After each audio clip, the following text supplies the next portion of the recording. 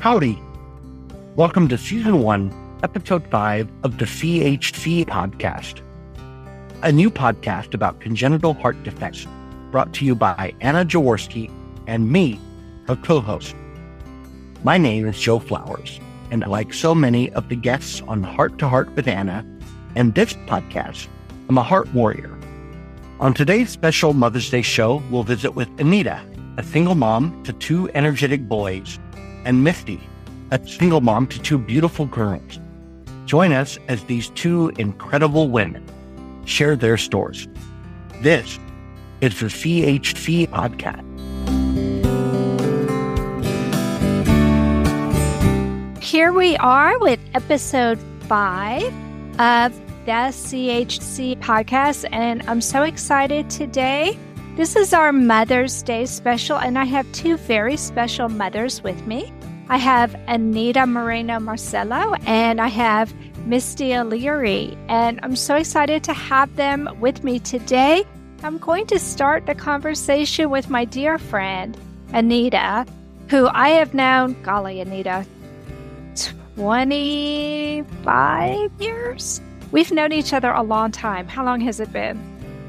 That makes sense. It could be more than that. Yep.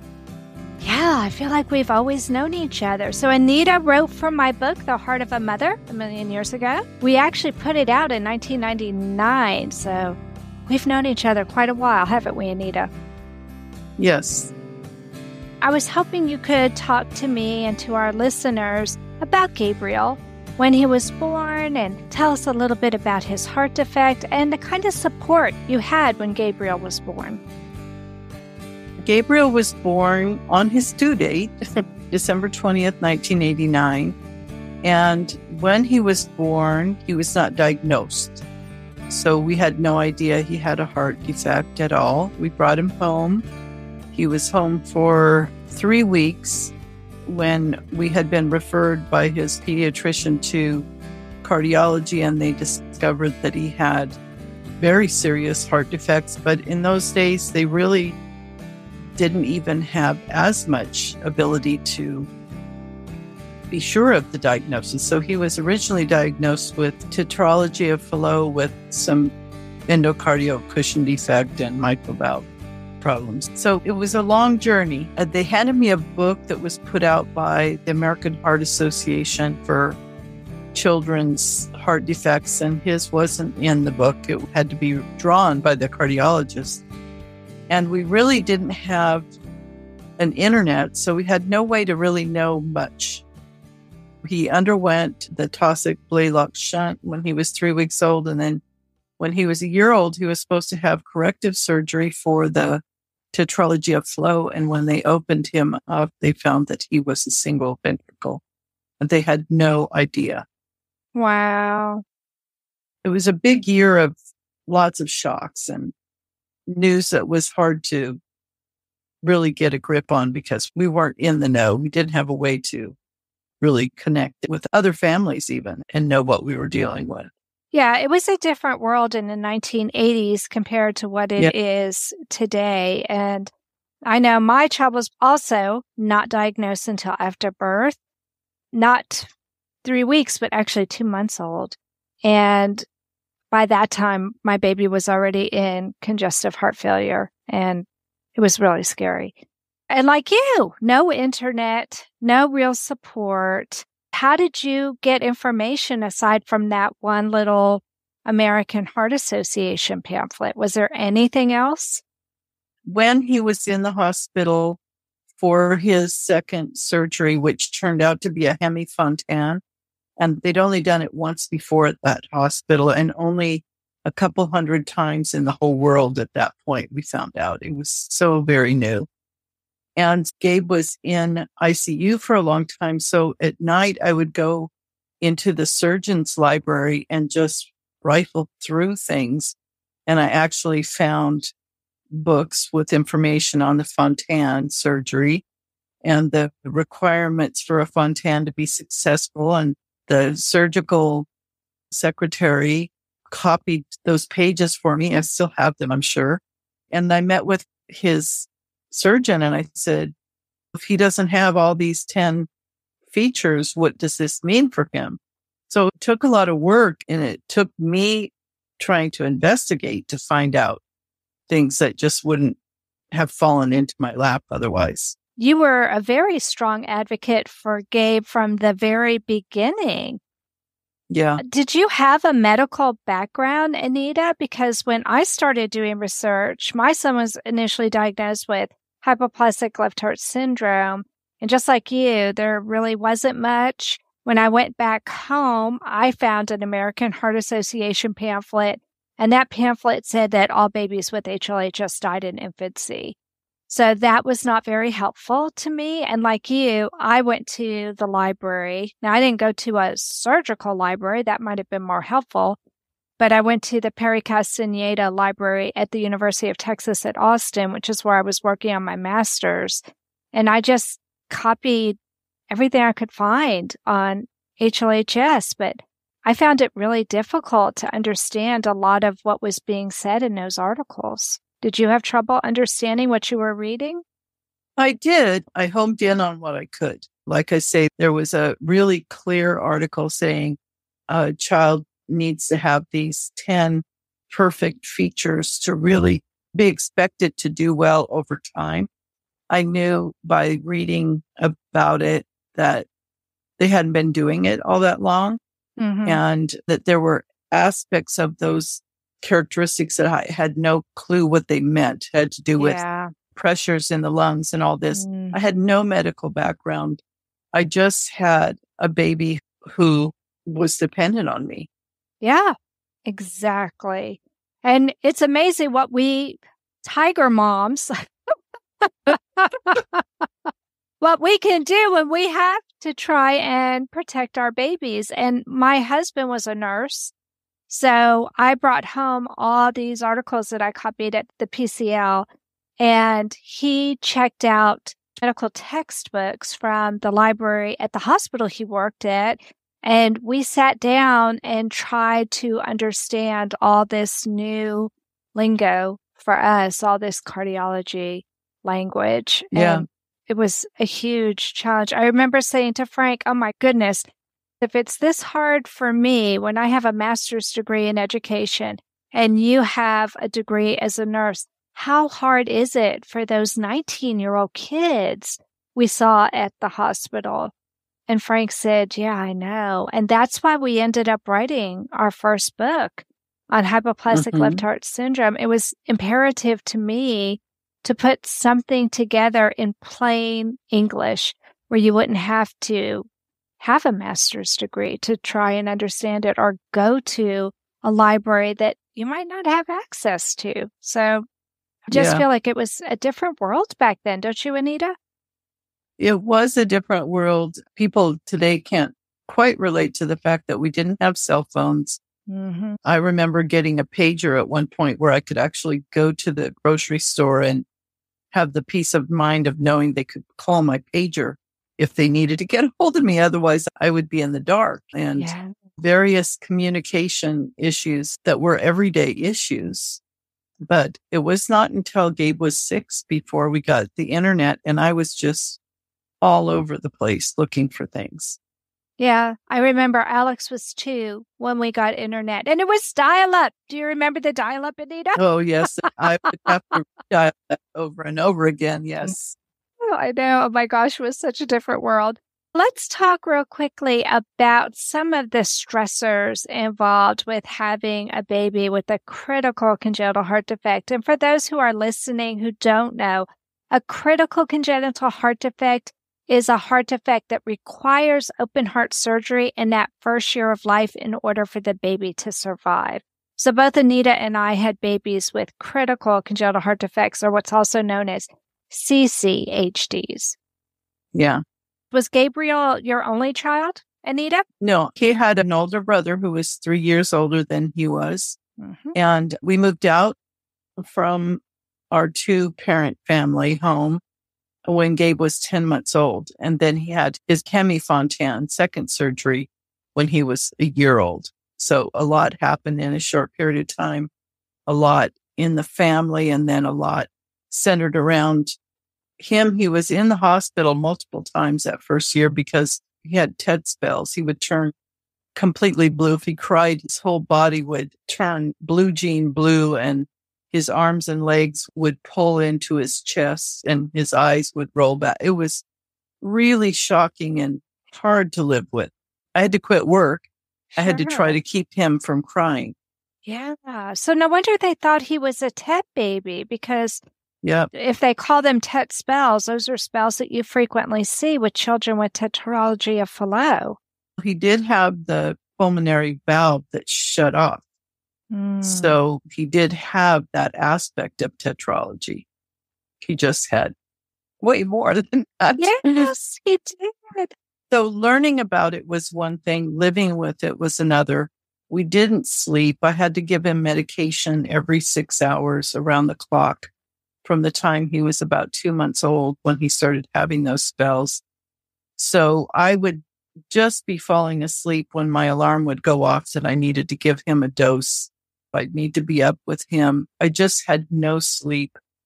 And it was a rough time. I remember having a lot of just really bad muscle spasms in my back and my neck. And I still needed to pick up my baby. And it was hard to be by yourself in that spot.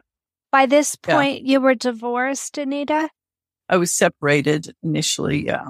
You were separated. Yeah. yeah. That does make it so hard. And were yeah. your parents living nearby? Did you have any help from grandparents? My parents lived in Oregon. And when my son was diagnosed with the heart condition, my mother took early retirement and she made it a point to come up for two to three weeks at a time every few weeks to help me because she could see how much work it was and how much I needed help. So I had that help ongoing from her. And so I would make all my banking appointments, dental appointments, any other appointments I had to make for when I knew she was coming.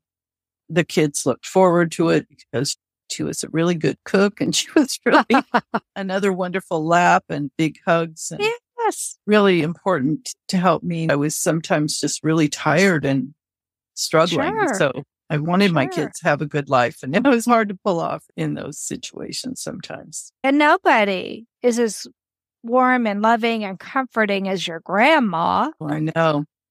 It was a great asset. And I will say we were very fortunate. Absolutely. It sounds like your whole family pulled together. Talk to me about the older brother. Did older brother help out in some ways, or was that just another stressor for you, Anita? My older son was a budding violinist.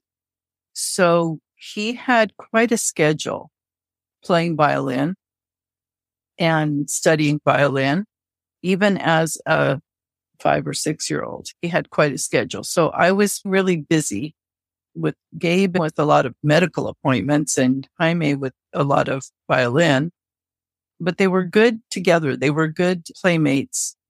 And that was really helpful. And when Gabe had his Fontan surgery at two and I was by myself, mom had been there for a long time. She had to go back home and Gabe needed to have a Broviac line for medication and Jaime would help me to distract him so that I could do a sterile dressing change. And he was just very important to how we just managed to get through it all.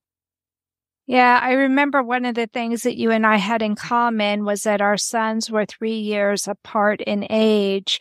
And it was our second son that was born with the heart defect. And I think in some ways that was such a blessing for both mm-hmm. of us because yes. I know that Joey and Jaime were able to normalize things for their little brothers.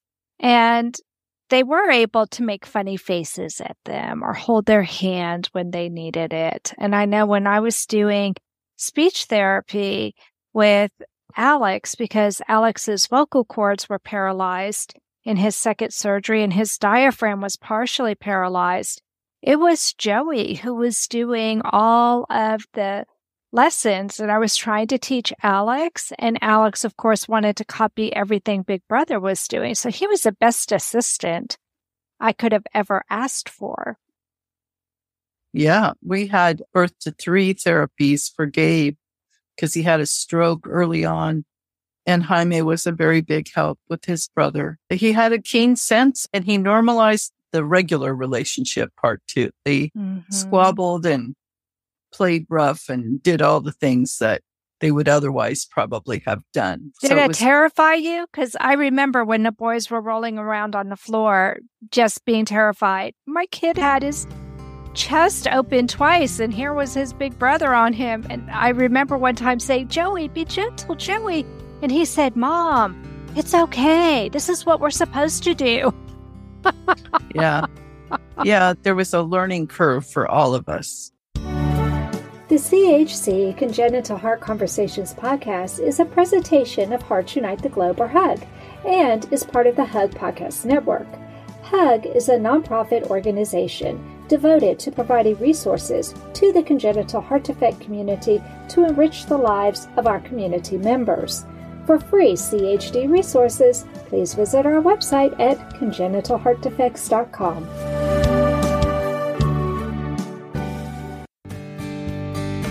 You are listening to the CHC podcast. If you have a question or comment that you would like addressed on our show, please send an email to Anna Jaworski at anna at the chcpodcast.com.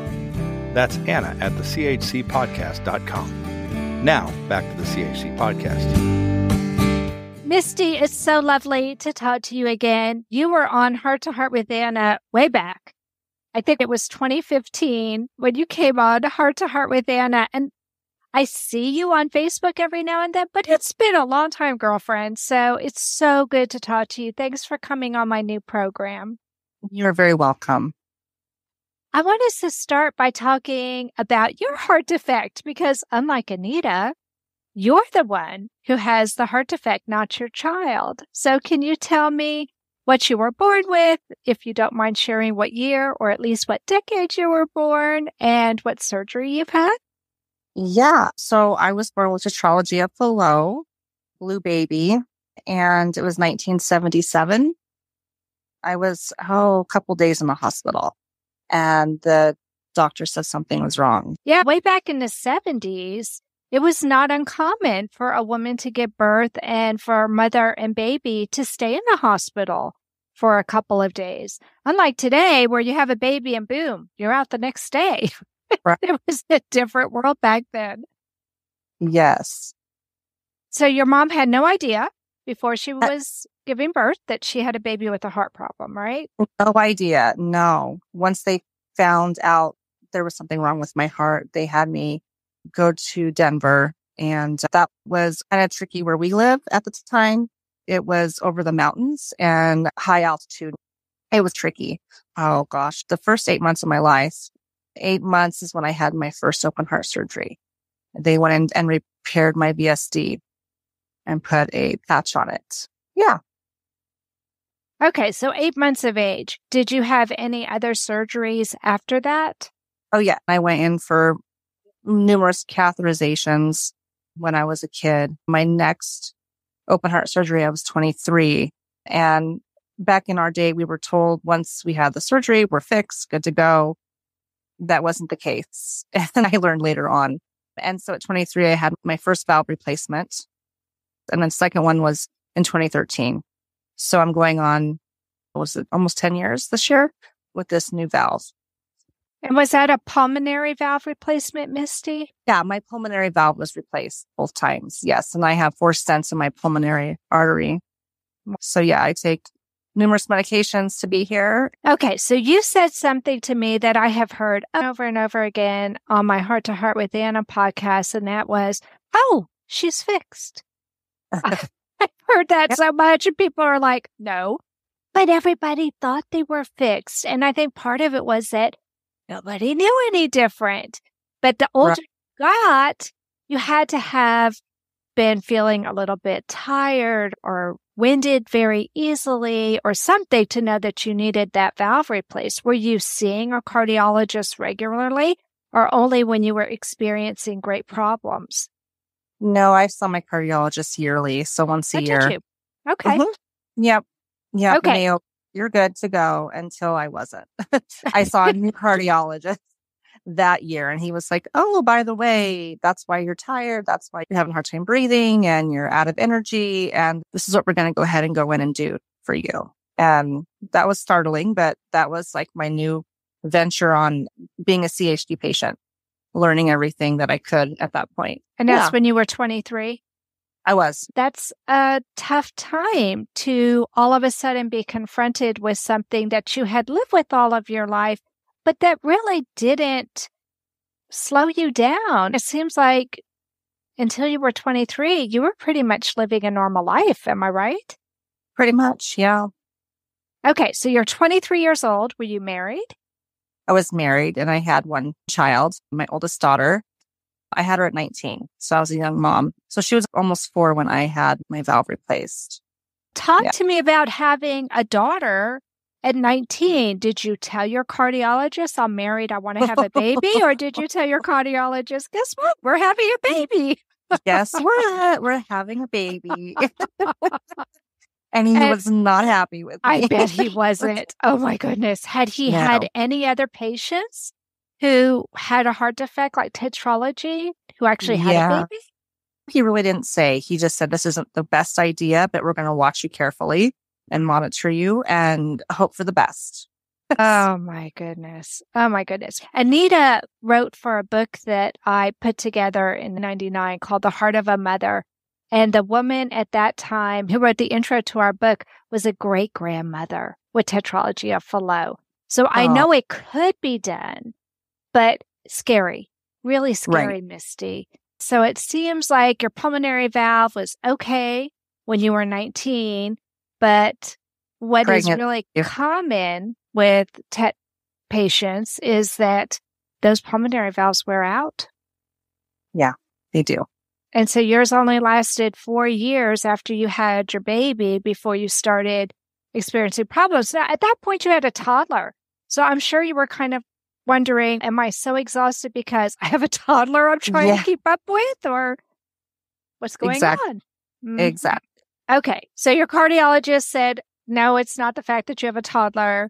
The pulmonary valve has worn out. What were your options? Surgery. That's all I knew. That's what he said. Surgery. We have to replace your pulmonary valve. And then he gave me the options of what that would look like and how to go about it. So I did within two months. I went in for the surgery and put the new valve in. So were you given the option of a porcine valve or a mechanical valve or what kind of options were you given? It was either porcine, mechanical, or a human and so I chose the human. Oh, so did you have a cadaver? I did have a cadaver. Okay. I understand that's a tough choice to make. And at 23, you were so young. What guided you to make the decision you did?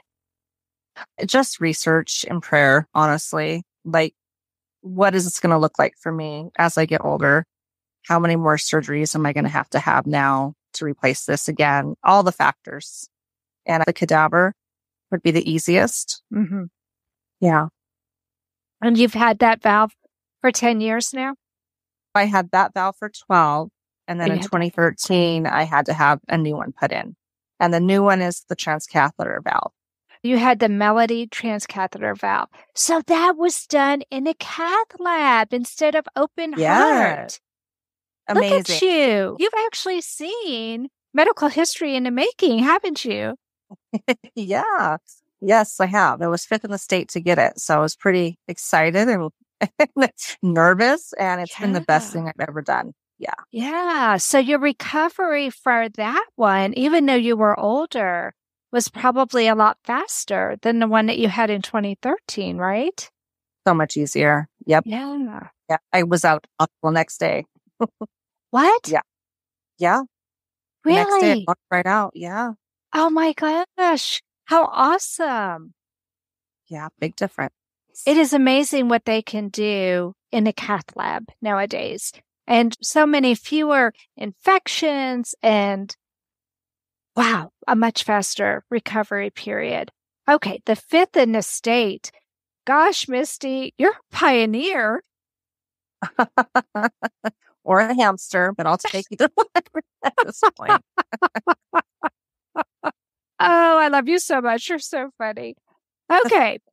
but let's talk about motherhood for you because it doesn't end with Melina. you had oh. Melina when you were 19. We did. Tell me about your more recent baby. I have a four year old daughter now, and I was 40 when I was chosen to become a mother, 41 when I had her. Let's see, I got divorced right around that time. And yeah, I did the pregnancy all by myself. It was quite a shock, to be honest. I didn't think I was able to become pregnant. I had lost three babies previously, I'm miscarried so them. sorry. And so that's okay. It was tough, but there was a reason. There's a reason for everything. And she is the biggest blessing in my life for the second Oh. half of my life. So yeah, was she easy? No, my pregnancy was really tough. I had to be flown to Denver. She was a placenta previa and I went into heart failure because of the transfusion that I ended up receiving to keep her inside. And so I ended up going into heart failure. I had to be flown to Denver, which is oh, three, four hours away and I Oh, had to stay wow. at the university for four months by myself to keep her inside and be able to have her. Oh my goodness. Did you have some assistance from other family members? My oldest daughter was actually finishing up her bachelor's at CSU. So she was an hour away. So she was my only go to person. Yeah. Wow. When I had you and Melena on Heart to Heart with Anna, you girls look like sisters. you were very young when you had her, Yeah. and we grow up with our kids. No matter what age you are when you have your children, you grow and learn with them, don't you think, Misty? Definitely. I am sure she must have been so tender and caring towards you while you were pregnant with this baby. She was amazing. She was my right hand, to be honest. Yeah. She, Aw. I can't say enough amazing things about her and how she helped. Yeah. I was very blessed. What was she studying when she was in college? She graduated with her bachelor's of social work and then she finished up her master's at DU. And now she is a lawmaker and policy advocate for the state of Colorado. Oh my gosh, Misty, you must be so proud of her. We're very proud of her. She's done very well for herself. Yeah. Oh my goodness. How does she feel being big sister to a sibling who's so much younger than her? Loves it. Biggest blessing for her too. Okay. Crazy our life has worked out this way, but I left her a legacy. So now she has Yes. a little sister. Okay, so let's be honest here. Is she really a big sister or more like a second mother? kind of like a second mom. Yeah. but they do fight when they're together. They do. They'll sit there and argue. And it's so funny. So there's that too. There's a balance, I think. Yeah. You got to have a little bit of that sibling rivalry, no matter what age difference you have, don't you think? Yeah. 22 years apart. Totally fine. So tell me what it's like now. You're in your 40s. You have a almost five year old little girl. What's it like being a heart warrior and raising probably a very energetic little girl? I am tired a lot.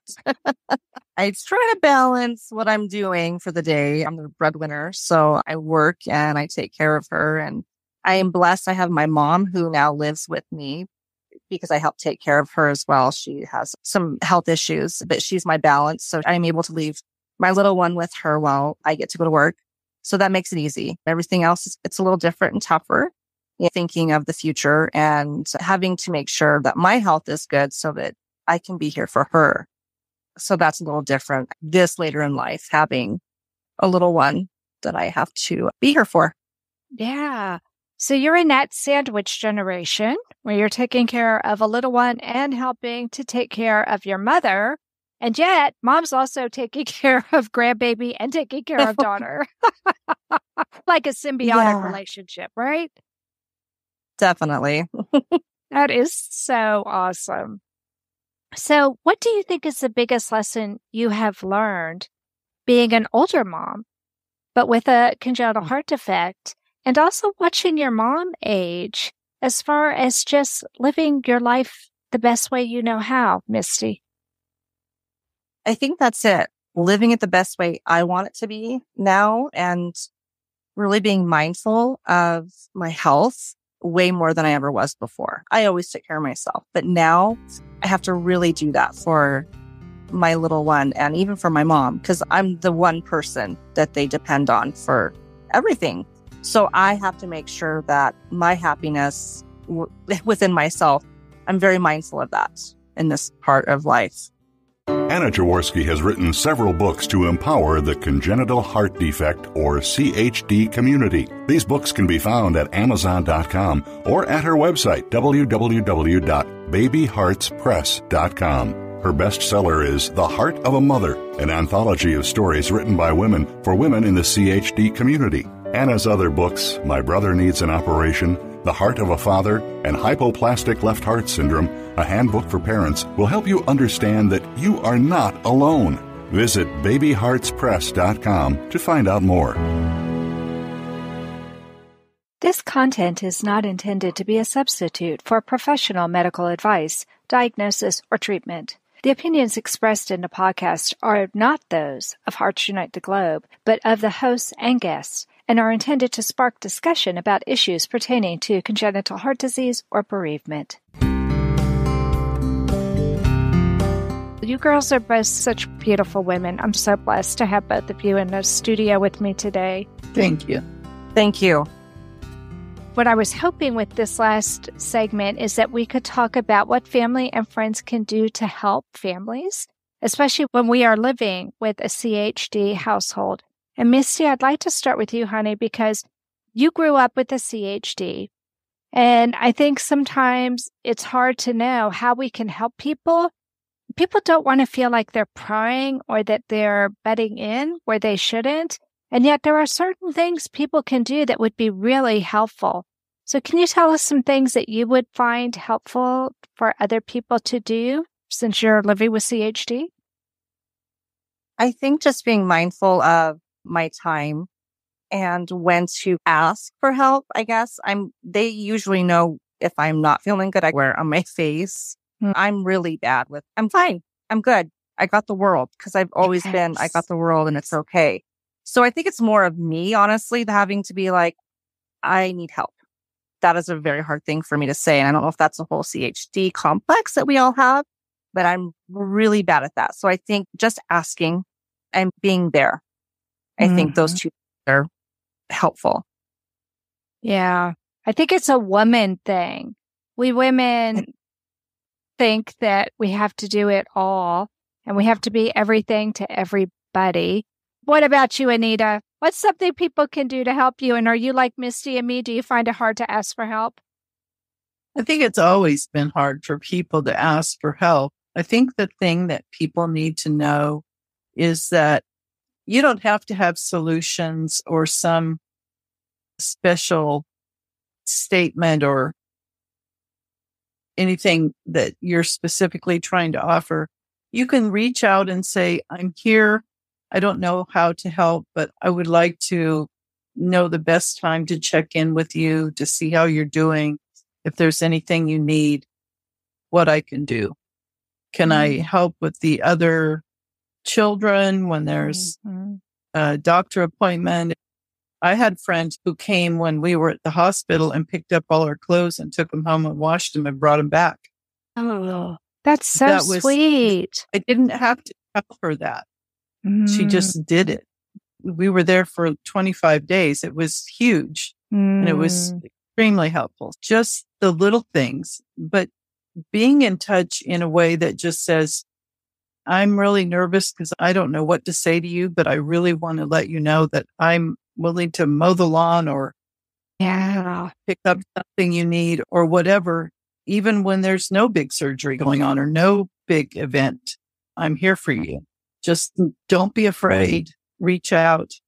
And for the person who needs the help, you don't always have to have something. You can just say, sometimes you just want a five minute conversation with someone other than little one. who doesn't have Yeah. adult conversation. I'm totally there with you. I was a stay at home Yeah. mom.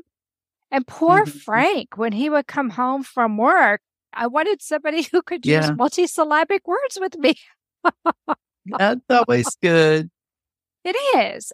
Yeah. And just somebody who can commiserate with you if you didn't have a great day, because sometimes things don't always work out the way we want to. The baby throws up all the food that you got in them, and you're so worried about it being a failure to thrive baby anyway. And now they just threw up everything you gave them. I mean, we go through And that's eating issues are an all day long, every day Yes.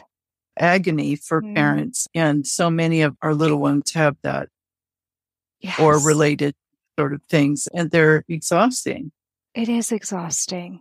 It is exhausting. And then, especially if, like you were saying, where you have to get up and give medications, they have to be Mhm. given at a certain time. I don't know about you. I felt like I was asleep with one eye open because I was so afraid something might happen and I might miss it. Yeah, I think my son was about four years old before I ever had a full night's sleep. And that's a long time to go. That is a long time to go, especially if you're a single mom. How can you work like that? Oh my goodness, Anita. And you worked outside the home. That's got to be so uh rough. I just yeah. can't imagine it. I just can't even imagine it. And you're the breadwinner and you're providing insurance. So it's not like you really had a choice in the matter. Right. And we all get through rough early years because it's those beautiful faces that we're looking at every day that keep us propelled. I would go back to it in a second. I yeah. would. That's what Mm. I love too is you look at that sweet baby, especially when they are asleep and they're Mhm. freshly bathed and powdered and you look at them and your heart just sings, doesn't it, Anita? Yeah. And it's gone so fast. They grow up so fast. I miss him very much. Yes, for those of you who don't know, sadly, Gabe passed away and such a sweet soul, such a gentle, sweet, competitive, Yeah. loved his uh-huh. video games. but he was an artist. He was good. It was, So creative, so creative. Yeah. Love Nintendo. yes, he got to visit there at the end, which was great. It's really something. Just amazing. And remind me how old he was when he passed, Anita. He was 27. That just doesn't seem possible. No, it really does not. And like I say, I, I would do it all over again in a heartbeat. And that's a funny and ironic statement to make, but Yeah, Yeah, I know. It was probably some of the hardest days of your life, and yet you'd go back there in a heartbeat. I think what's Yeah. amazing is that he's been gone for years now, and yet I still feel like he's with us, Anita. he very much is. He Absolutely. very much is. And he's had a great impact on me, on my life and my thinking and my outlook. And he was all about raise money for congenital heart disease research. And he would say, but for the babies, mom. Oh, yeah. Yeah. Such a sweetheart. I still Yeah. feel Gabe's presence very strongly. I know he's watching over us, and I'm thankful that his heart and my heart warrior's heart brought us together because we've been friends a long time, Anita. Yep. I'm so thankful Yes. you came on this program. Thank you for helping me with my brand new podcast. This is great. It is great, and it's always good to talk about Gabe. Yep.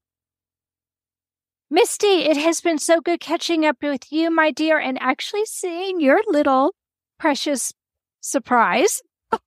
Thank you. It was wonderful catching up with you too. Folks, happy Mother's Day. And I appreciate you both so much. Thank you. Okay, so that does conclude this episode of the CHC podcast. This is a great way for us to celebrate Mother's Day together, especially for the challenging situation of being a single mother. You all are Yeah. amazing. I love and treasure both of you.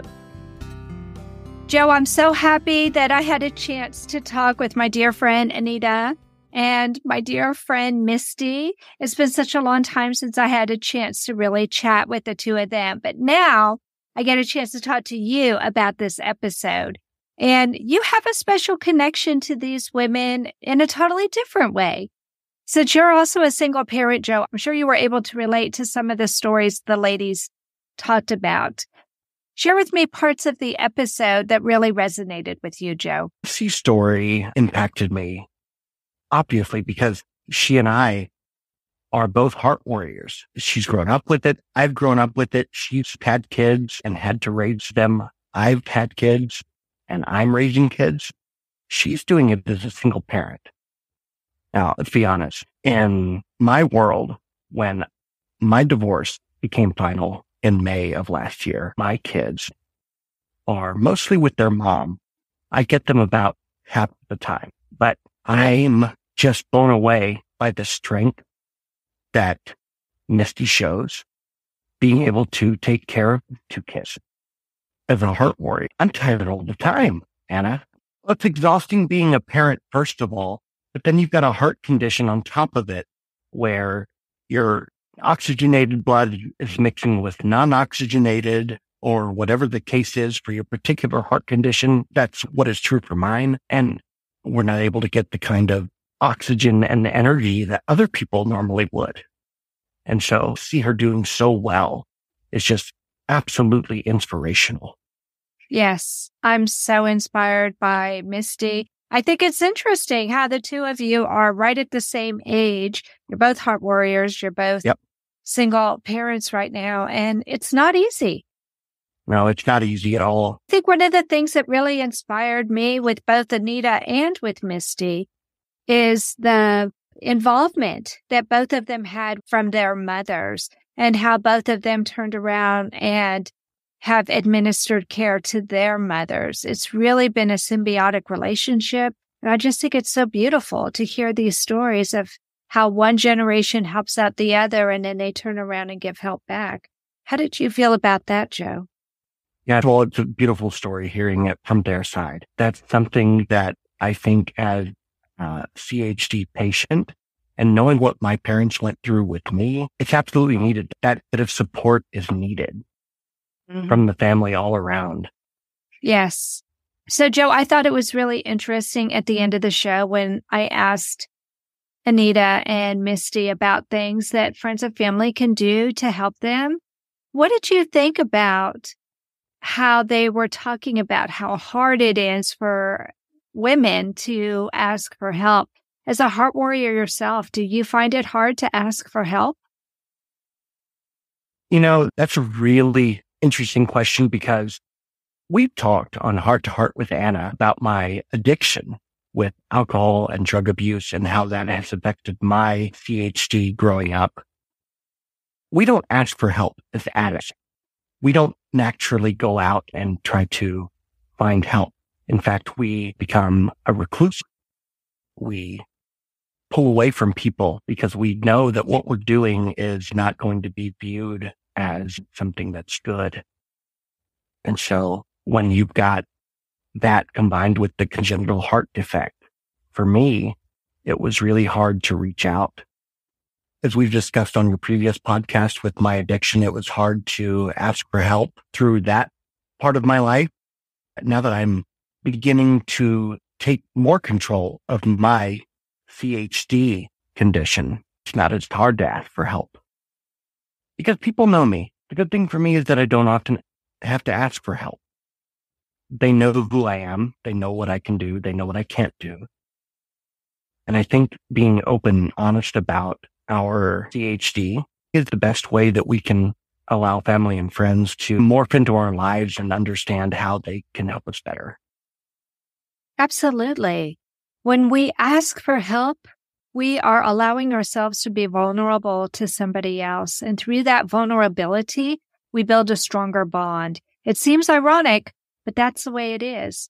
And that's why it's so important to let your guard down and to allow yourself to be vulnerable to somebody else so they can be strong for you. And then when they need somebody to be strong for them, they know they can turn to you. I think that's something a lot of people don't want to appear vulnerable to anybody, but that's where you will actually find your strength is by being vulnerable to others. So with that, Joe, I think we'll go ahead and end this really informative Mother's Day edition of the CHC podcast. Friends, I hope you enjoyed listening to this episode as much as I enjoyed talking to Misty, Anita, and Joe. Please join us next month for season one, episode six, where we'll be talking with dads in the CHD community. I'm Joe Flowers. And I'm Anna Jaworski. And this has been the CHC podcast. Thank you for joining us. The CHC podcast can be heard wherever you get your podcasts. Visit us on Facebook or Instagram to continue the conversations. Join the Hearts Unite the Globe Patreon group and become part of our town hall meetings. It's simple. Just visit www.heartsunitetheglobe.org and select the tab that says Donate to Hug with Patreon. Then you too can be part of the conversation.